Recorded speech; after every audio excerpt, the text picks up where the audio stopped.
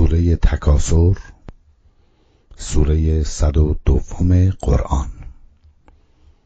به نام خداوند بخشنده مهربان. زیاده طلبی نسبت به یکدیگر شما را تا هنگام مرگ سرگرم ساخته. تا اینکه سراغ قبرها رفتید. اینطور نیست که فکر می کنید خواهید دانست. بعد هم بدانید که اینطور نیست که فکر می کنید خواهید دانست. اینطور که فکر می کنید نیست.